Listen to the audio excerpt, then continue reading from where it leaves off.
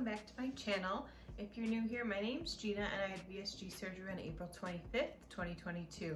Today I'm going to show you three recipes I'm trying to make for my next stage, which is purees. So I have everything set up in front of me. Um, the things that we're making today, we're going to do the infamous ricotta bake that everyone eats on purees. I'm going to make uh, a version of a spinach and artichoke um, bake that I found online. I'll link the I'll link the recipe below. I'm not following it exactly. Um, I'm kind of making some my own modifications for that. And I'm also gonna make like this buffalo, um, like buffalo dip kind of mashed potato thing. It's hard to explain. You'll see um, when I go to eat it. I um or when I go to make it. I uh, it was something I had when I had my wisdom teeth out a couple years ago. And since you can only eat like soft things, for whatever reason, I had leftover buffalo chicken dip in my fridge. And I had mashed potatoes, obviously, from the wisdom teeth. So I was like, I need something with some flavor. So I mixed the two and it was delicious. And I think it'll work because I've ground down all the chicken. So uh, we'll see how that turns out. So I'm gonna show you guys like an overhead shot uh, of what I'm doing. And then I'll show you the containers I bought for these and we'll bake them and we'll try them. So let's get started. Okay, welcome to my workstation. So I have everything already um, paired out. I will leave all the recipes below um, and along with the macros. Now the macros will be what I'm using. If you find a different ricotta or a different cheese and you use it, just make sure you're um, factoring that in. I'm using pretty much low fat or fat free everything. Um, so if you buy something different, just note that the macros will be a little bit different. So for the ricotta bake, we're gonna start off with eight ounces of just plain ricotta. And I believe this is the 1%. And then to that, we're gonna add one egg. And a half a cup of Parmesan cheese. I just used the stuff in the green can. I know it's not the best, but it's just what I had on hand. And then from here, I don't really measure out my seasonings, so I would say maybe a teaspoon of salt because that ricotta has zero flavor. I'm gonna do a couple cracks of black pepper. Uh, about a teaspoon of garlic powder. You can just use like a basic Italian blend, but I don't, I don't have one of those, so I'm doing it by hand. A little bit of onion powder. I'm gonna do probably a teaspoon of oregano, or no, that's parsley, and then oregano.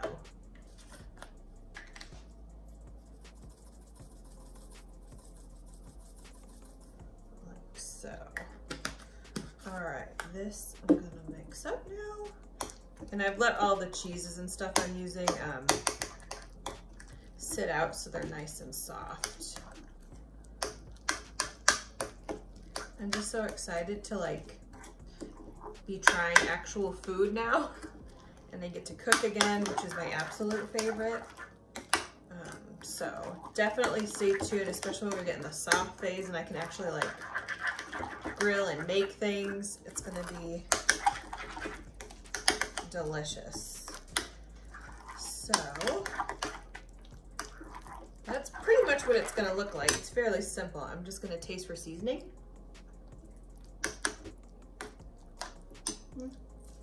Pretty good. I'm gonna add a couple more crack, uh, cracks of black pepper.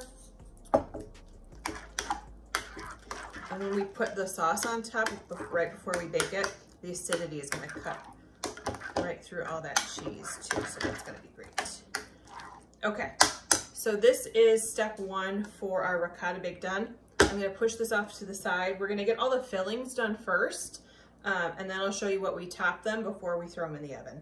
So step one for this is done. Next, we're gonna make a spinach and artichoke uh, dip, dip slash bake kind of thing. So to start this one off, I'm gonna do four ounces of reduced fat cream cheese. And this was a recipe I saw online, but I modified it. Um, I'll, I'll uh, link the other one below. We're gonna add one 12 ounce can of artichoke hearts that I drained, um, like the fluid that, or the liquid that they were in. I added a little bit of water and I pureed those. So all that's going in. And then I took uh, just a block of frozen spinach, did the same thing, uh, thawed it out, added a little bit of, I did the Fairlife milk in this and blended it up till it was a puree. And because I'm not using a full, um, a full block of cream cheese, I think we are still gonna need more base. So this is just five ounces of plain um, non-fat Greek yogurt. So I'm going to put all that in. Now these are gonna make a lot. Like obviously I'm not gonna eat all this that fast. So we're gonna bake all of them and then um, I'm gonna freeze like most of them because I have two weeks to eat all this stuff basically. Um, so by freezing most of it, when I know I want one, I'll just, you know, pop it out a couple hours before and then just nuke it in the microwave. So we'll give this a mix. Now so far we have not seasoned this one at all. So I'm gonna just pre-test it. I definitely need salt. So we'll do a pinch of salt and then probably just some garlic powder in this one. We'll mix that.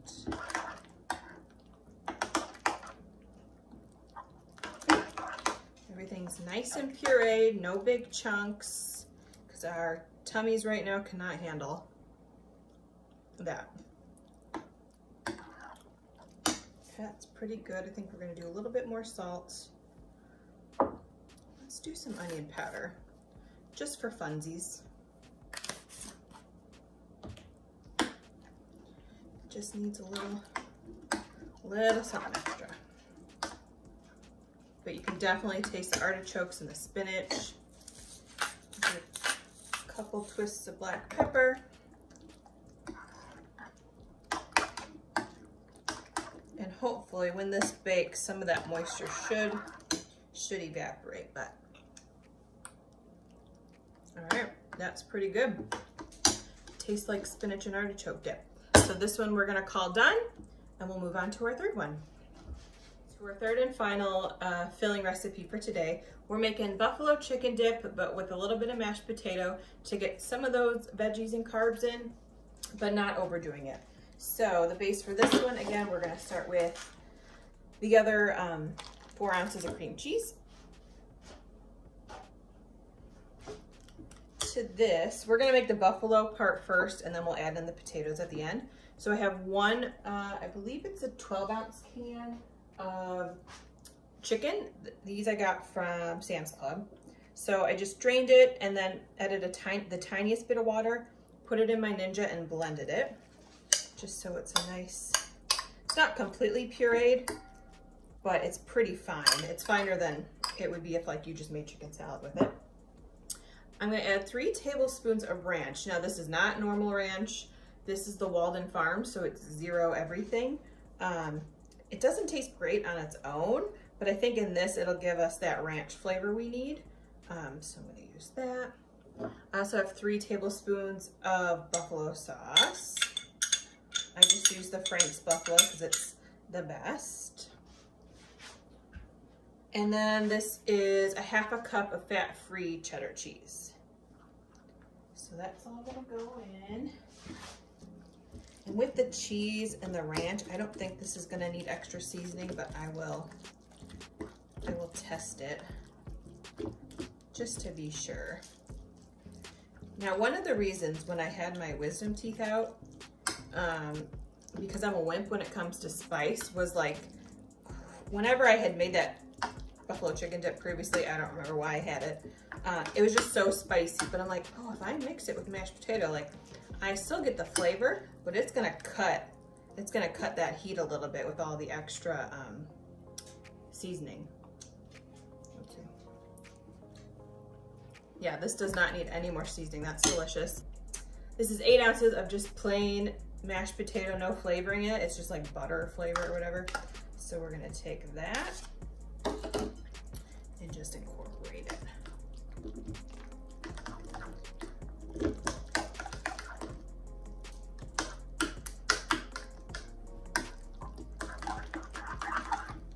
So this is gonna be packed packed with protein because that one can of chicken had so much, plus the cream cheese and all that good stuff.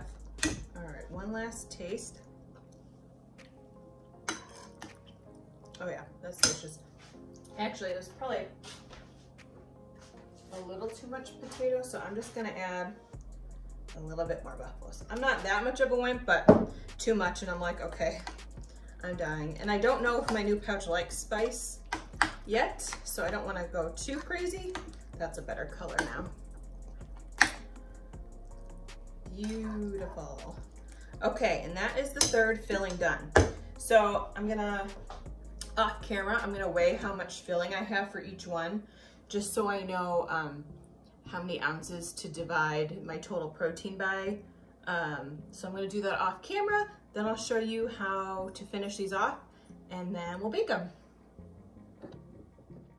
Okay, one real quick jump in. Um, I'm gonna show you what I used uh, to bake all these things in, but I've come to find out after the fact that technically you shouldn't be baking in the ball jars. Um, I was using like the thicker ones. It's not like the thin glass, but apparently they can shatter and and not not be good. So if you're gonna use them, do it at your own risk. Like don't obviously don't follow it um, or do your own research. I thought I had done the research in the beginning and it was okay if they weren't over uh, 370 in the oven.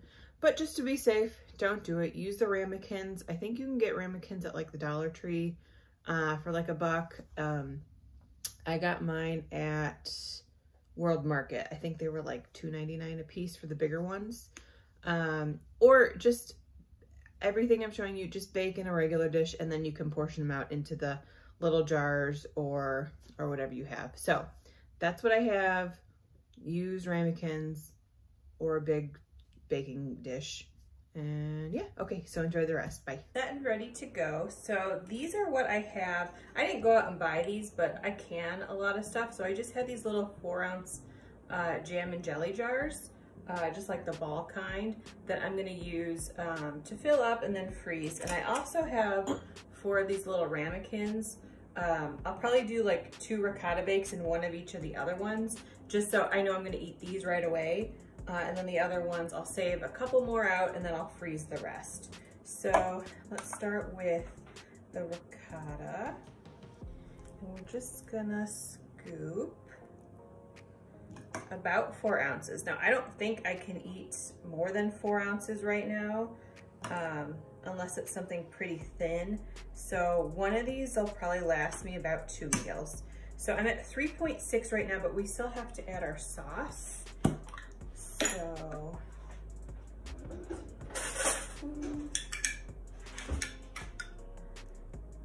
I just want it to be a little over four ounces. Okay, that's four and a half. That's good.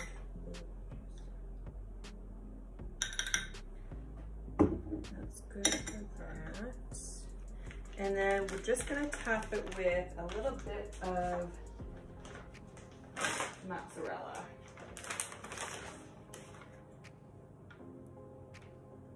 like so. So that's 4.8 ounces. I definitely won't be able to eat all that and I'm not gonna get as much in the, the ramekins. So let me fill up all this and then I'll show you the next one.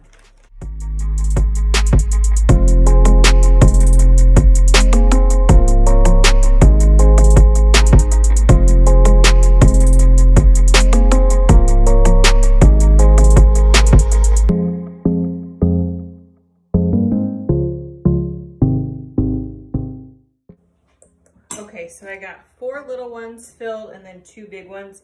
These each have about 2.5 ounces of the filling. I'll just do one scoop in these guys. So basically, I, I know the total volume of what I made. Um, and once I figure out the protein, then I'll divide by ounces. Um, and then figure out how much is in each one of these little ones.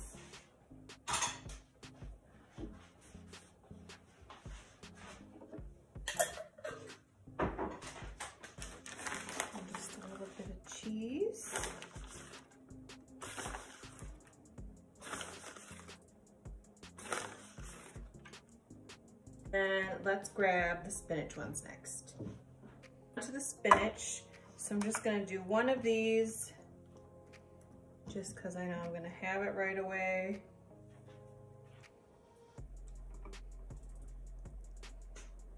Probably do about, yep, let's do four ounces of that.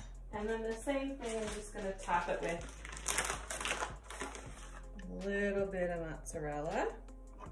And then we'll see how many jars it takes to fill this. I might run out of jars, so let's see what happens.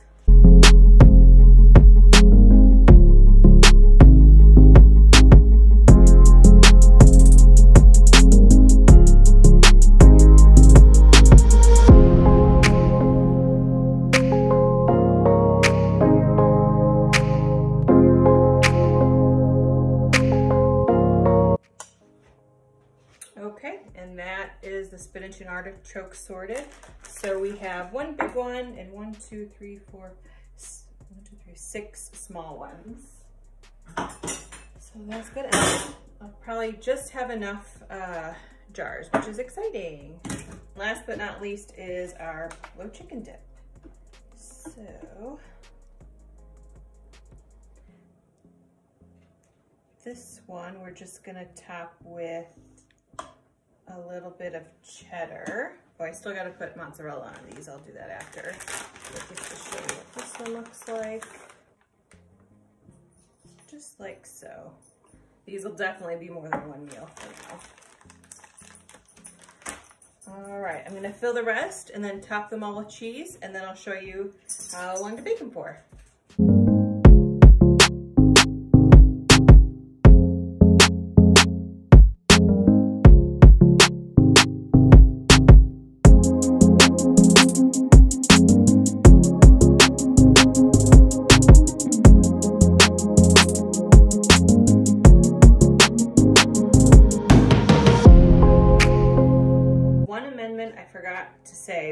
Started recording. On the ricotta, I tested it before uh, I started filling them and I did add a little bit too much salt. So I did go ahead and add the rest of the ricotta I had. So instead of eight ounces, it was a total of 15.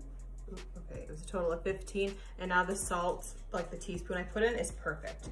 So that was the only change to the recipe that I did off camera. Um, okay, now let's get these in the oven. Okay, so this is what everything looks like. The only thing that really has to cook in here is the egg that's in the ricotta ones. Um, so I'm gonna put this tray on the bottom just so it gets a little more cooking time. Um, I just have my two big cookie sheets with a Silpat because I don't know if they're gonna bubble over or not. Uh, I have the oven preheating right now and I'm gonna put them in at 350 for about 30 minutes and I'll check it after 15 just to make sure everything is bubbling and, and looking good. So let's go. Into the oven. They're a little heavy, so just be careful. Now, if you only wanted to make one of these at a time, I totally understand, but I'm trying to make a video one. And I like to be extra prepared, so I had to do everything at once. Makes sense, right? So, we'll see you in a half hour. Okay, we're 15 minutes in. They're definitely gonna need the full 30, but no crazy bubbling yet. But they look good. Okay, it's been about 30 minutes, so let's take these out and see what they look like. They're starting to bubble now. They definitely needed the full 30 minutes for sure. Those look so delicious. Like I know I need to eat dinner soon, uh, I guess late lunch. I don't know which one to pick. Do I just have a couple tablespoons or teaspoons of each one? Look at those. Doesn't that look so good? Look at that bubbling. I was just putting on my Instagram that I haven't been able to cook like this for a month because exactly one month ago I started my uh, pre-op diet. So I haven't had like real meals since then, but these just look so delicious. So we'll let these cool because they are a bubbling and then we'll do a taste test and hopefully they taste good and warm. Uh, I mean, I know they will. They tasted fine when I put them in there, so, but let me just give you a real quick close-up shot. So there's the spinach, there's the ricotta bake. Oh, don't those look so good? More spinach, and the, the buffalo chicken dip kind of puffed up a little bit, which I think is funny. But those are gonna make some great meals. I might have to skim off the top on a couple of these because they're going, they're going over, but there, there's our meal prep. So I will see you when these cool down a little bit and then we'll do a taste test. We're back to the taste testing portion now. So I'm literally just gonna take a little bite out of each of these because there's no way I'm eating all of this. So let's start with the ricotta bake. And they all smell so good. Smells like lasagna. Mm. Yeah, that's really good.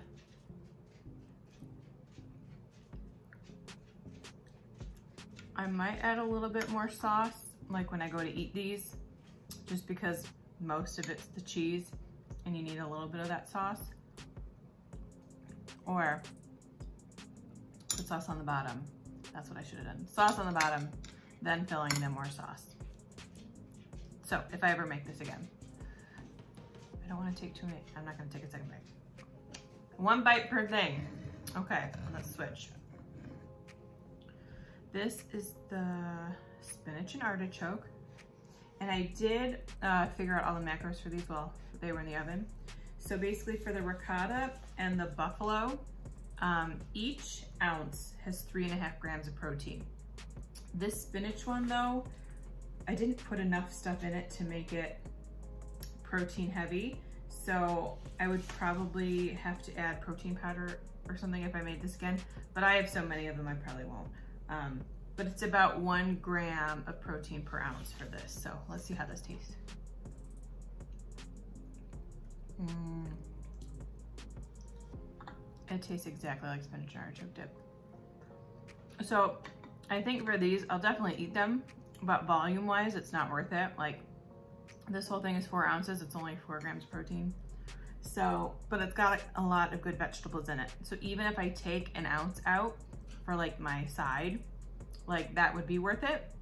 And then down the line, I think when I can eat like real food again, if I get those Quest like Cool Ranch protein chips, or even the cheese, eh, maybe not the Cool Ranch ones, and dip those in here to make it like an actual dip, because those chips have like 20 some odd grams of protein. That would be delicious, and I'll definitely do that when I can eat regular food again. Okay, last one. This is the buffalo chicken dip potato-y thing. And this is probably the one I'm most excited about. It, oh, Man, that spice really gets you. It smells so good though.